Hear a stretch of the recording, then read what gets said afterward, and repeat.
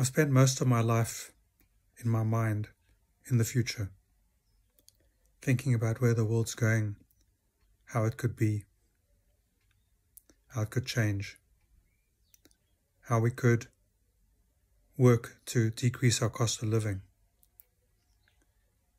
whether it's our financial cost or our health cost, our education cost, or our transport cost, or our cost on our planet or our personal cost on ourselves. All these costs should decrease, and as a result, our health increases. And so I've invested thousands of hours, millions of rands of time, and sometimes cash in looking at the future and trying to help people change their perception of how things are so that they can live in a more beautiful and kind, abundant, generous, clean, environmentally friendly, low cost of living, high quality of life world. And I've written books on the subject.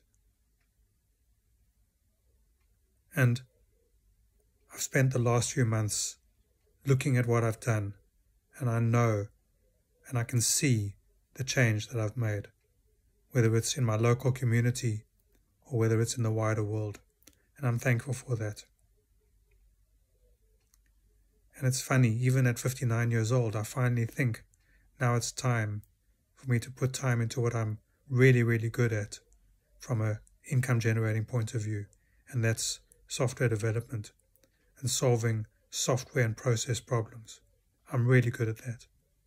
And that's where I've made 99% of my profitable income in my life. And that's where I'm focusing now. So, if you have a process problem that no one can solve, or you have a complicated problem, or you have an ambiguity problem, you have a, prog- a VUCA problem, volatile, all that stuff changing, ambiguous problem, in this world and you can't solve the problem, give me a call. Let me work on it. Let me look at it. Let me see if I can help you on your journey, which could take an hour or could take a week, could take a month.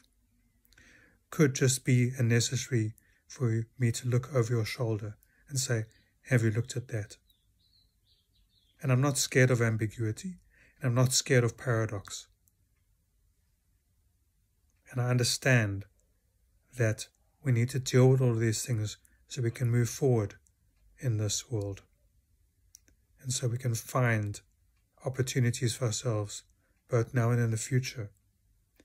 By working on what is in front of us, we must also be constantly looking at where we're going tomorrow and the future. Just a little quick update on where I am. Thanks for watching. Thanks for your support.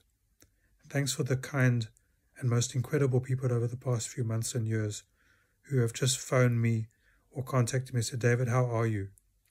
And who want real answers. Not I'm okay, but I'm actually not okay. But thank you for asking because by you asking, you make me feel okay.